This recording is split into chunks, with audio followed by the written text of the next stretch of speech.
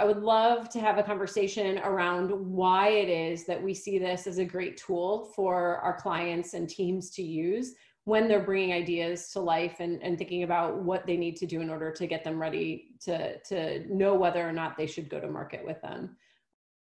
So would love to hear from you and Erin, maybe you want to start with the why, like why is this better and why, why should teams reframe how they think about these things? Yeah, definitely. So we are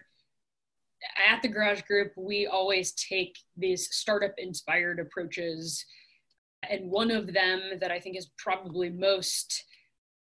pressing right now is just why we why we borrow startup inspired approaches is because startups are tailor made to add value in times of uncertainty and almost every single industry right now has been disrupted not just because of covid but just because of changing behavior at the rate that it changes and, and has been continually changing you just can't get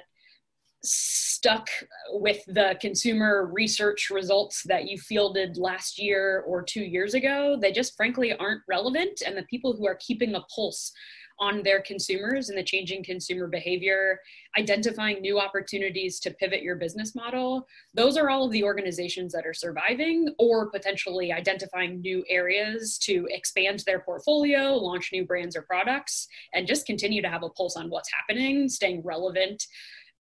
to whatever those emerging consumer needs are. So, why this assumption based development process has been so effective, or this approach to de risking ideas, is because what it allows you to do is to start small, start with low fidelity of prototypes, and build this mounting body of evidence over time. And the idea is, is that you can take a small nugget of an idea and go learn on it and then start to use iterative input from consumers to continue to build each of those ideas into something that could be really great and consumer resonant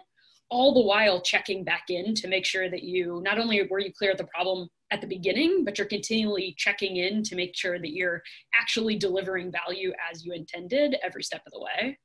But i think that taking a step back and even thinking about what is the biggest hurdle to adoption in this way of working is just that it looks totally different than the traditional idea development process that exists in most big companies. You field a big consumer research study up front, the division of labor is pretty clear, functionally speaking. Marketing or innovation team takes it in house tries to figure out what do we have on the shelf from an r&d or product research development side of things and try to go make something and then put it out in the market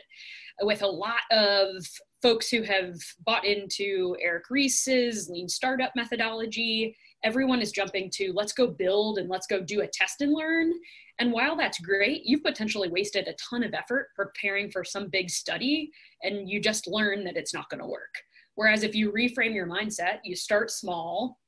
you think more about managing this portfolio of ideas together, you're able to allow each idea to set itself up for success as much as possible because the idea is what needs to be true for each of these ideas to have their best chance at success. And then so you almost put them in their own swim lanes and you build different experiment tracks for each idea. And i think erin to your point like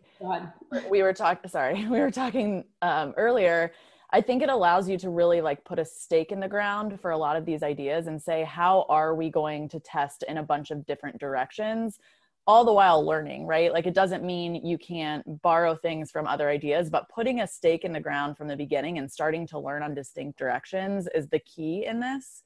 Um, and I think that's that's what we've seen the most success with doing instead of, you know, building going with one idea and pushing it as far forward as you can, like at the same time building really low cost experiments against six different ideas and learning quickly with low base sizes with low fidelity. So you're able to understand the potential of a set of ideas versus just one moving one idea forward